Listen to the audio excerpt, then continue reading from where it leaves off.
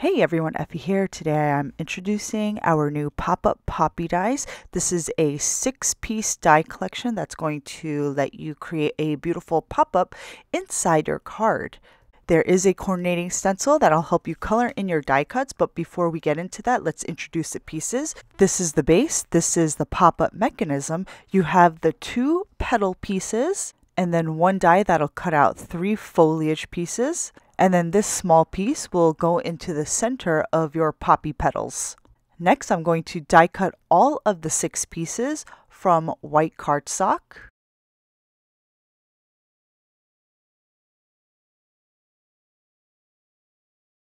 And you can also see the scored box on the right side of your base. So before I start anything, I'm just gonna fold this base along the center score line and you can see there are two slits on the left side of the base and then on the right side of the base you have this score scored square I guess and the one single slit. This is the pop-up mechanism and we're just going to start folding along the scored lines. And now you're going to see me make several mountain folds as we progress down the strip. But as we get towards the end of this strip, we want to start making some valley folds. So here we're going to go back and make some valley folds.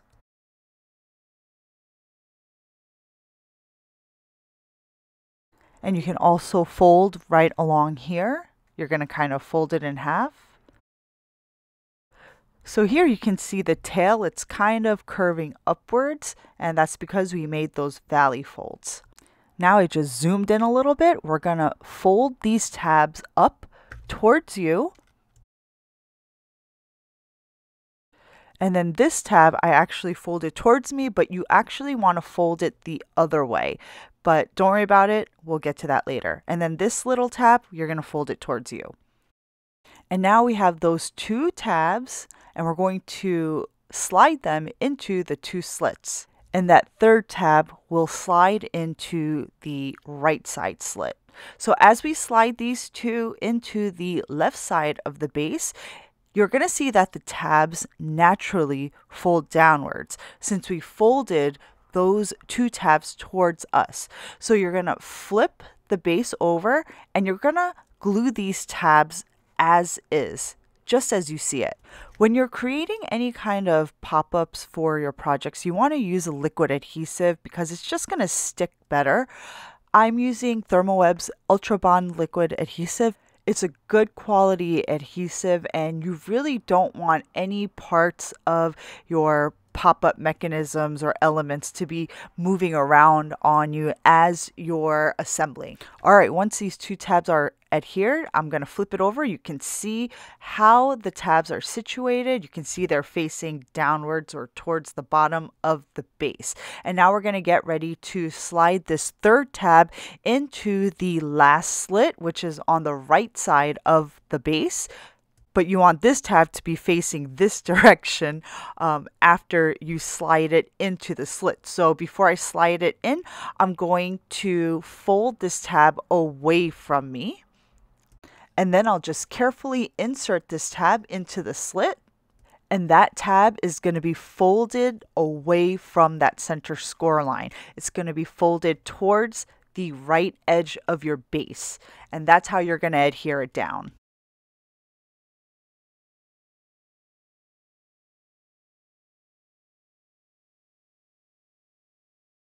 So as I adhere down, it is facing away from that center score line and towards the right edge of the base. Next, I'm just going to get situated for the next step. We're going to fold this portion down. We're going to start gluing down this tail. So I want to show you how it's going to look like once it's glued down. So it's going to be slanted like this. So don't freak out that it's not coming straight up from the center score line, there's going to be a slight slant.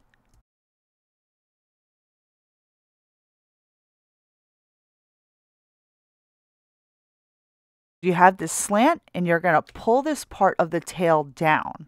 And this is where I showed you that scored line on the base this underside of the tail is going to be glued onto that scored square on the base.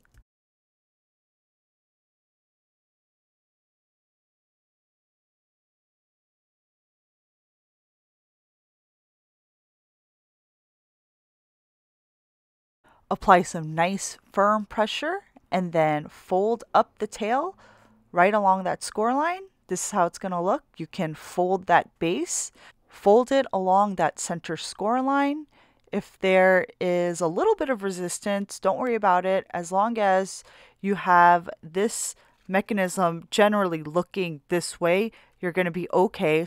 Next, we're going to continue assembling the rest of that tail, the end of the tail. This is going to form a second lower platform. So you're going to fold this in just like this.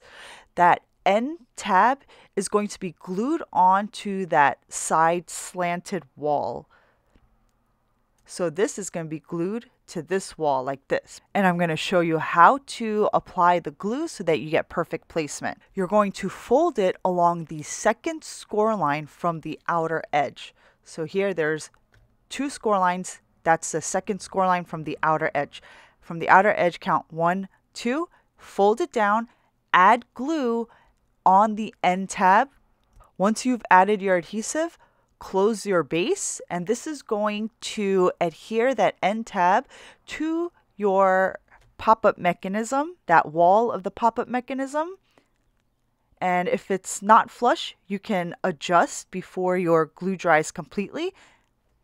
And you can keep opening and folding until you have a nice seamless pop-up mechanism on your base. And this is what it's going to look like once you're finished assembling that mechanism.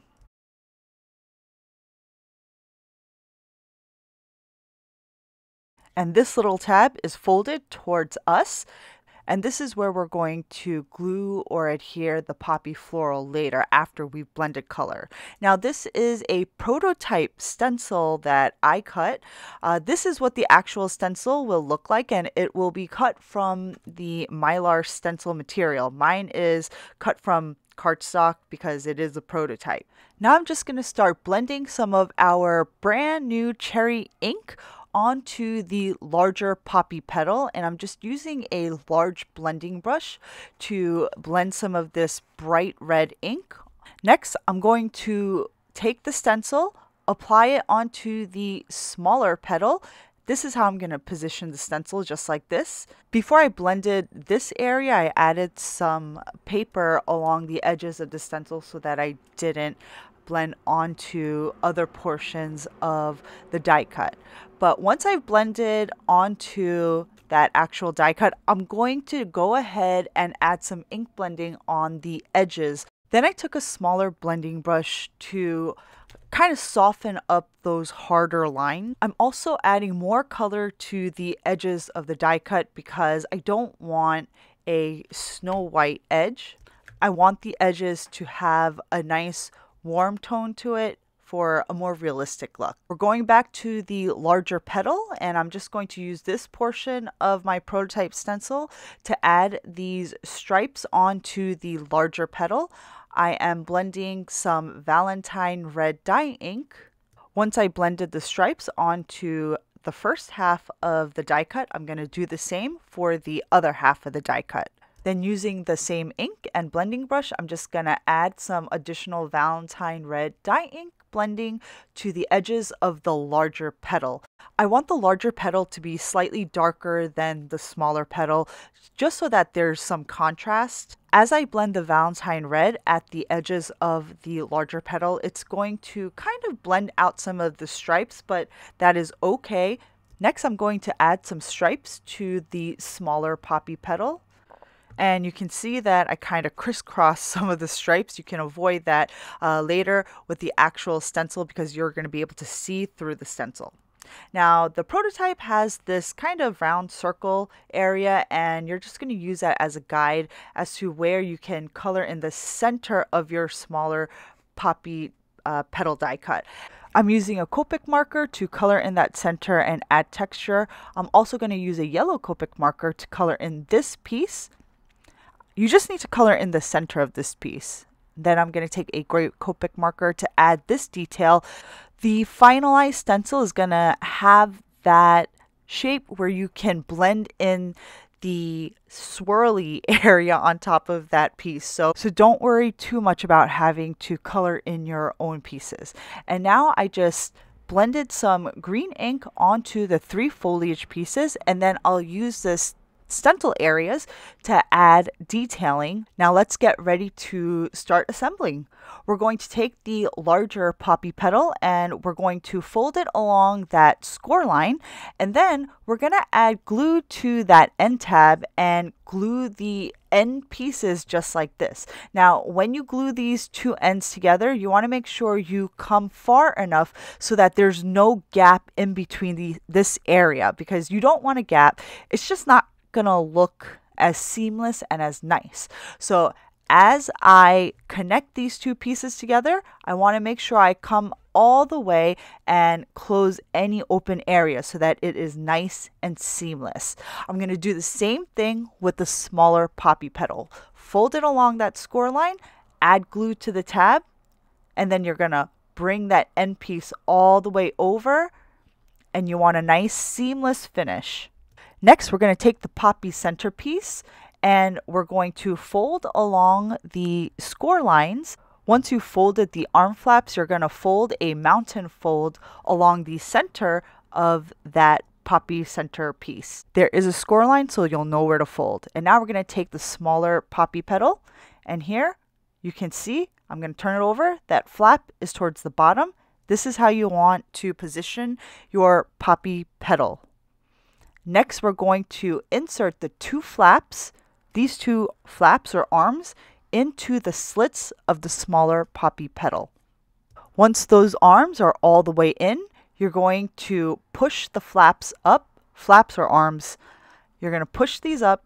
Now you want to put glue right along the this area right here. Here I'm pointing to the area where you want to put your glue.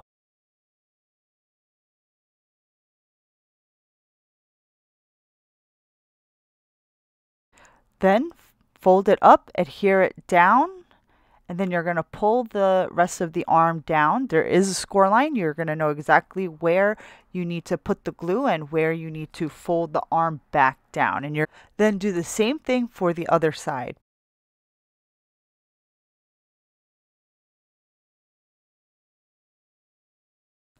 At this point, they look like little arms sticking out from the side of your poppy petal. Next, you're going to take your larger poppy petal, and again, you want to make sure the tab is towards the bottom. You don't want that. Um, if your tab is at the top, just rotate it 180 degrees. Make sure that tab is towards the bottom. Insert the two flaps or arms into the slits of the larger poppy. And after you apply glue, you're going to fold this up and glue it along the underside of the larger poppy petal. So here, just apply your glue and then fold it along the scored line and repeat the process on the other side.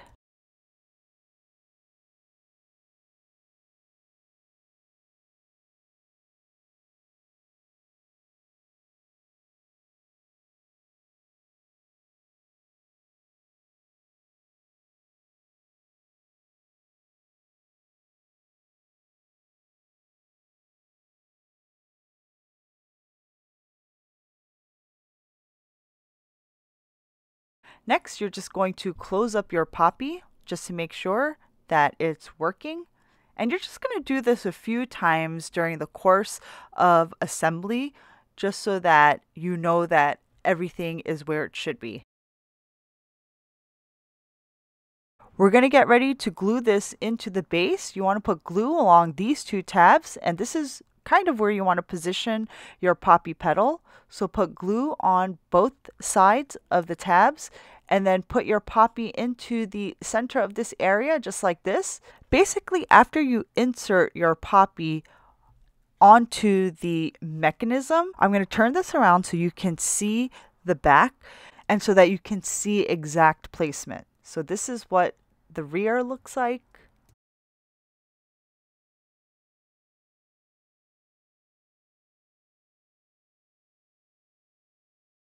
Next, we're going to glue the base into a card base. We're going to start off by applying the liquid adhesive to one side, put it into your card base and you want to make sure that the center score line of your base matches up or lines up with the score line of your card base.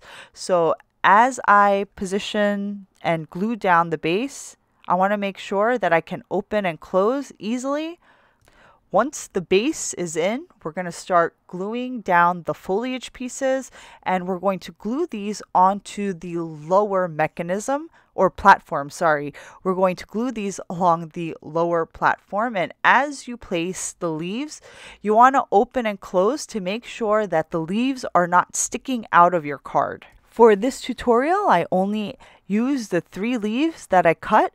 You can obviously cut more and add additional foliage to the inside of your card. And here you can see me kind of opening and closing and trying to place this piece so that it's not sticking out when the card is closed. So here you can see it's sticking out a little bit. So I'm just going to keep on adjusting until you can no longer see the tip of that leaf when it's closed. And here is the pop-up poppy fully assembled. I hope you guys enjoyed this project and tutorial. Let me know in the comments if there's anything else that I should change or focus on regarding this tutorial. I hope you enjoyed this video and I hope you'll check out the blog to see the rest of our spring 2021 release. And if you haven't done so already, be sure to subscribe to our YouTube channel because I update it regularly. Thanks for watching, guys. I'll see you next time.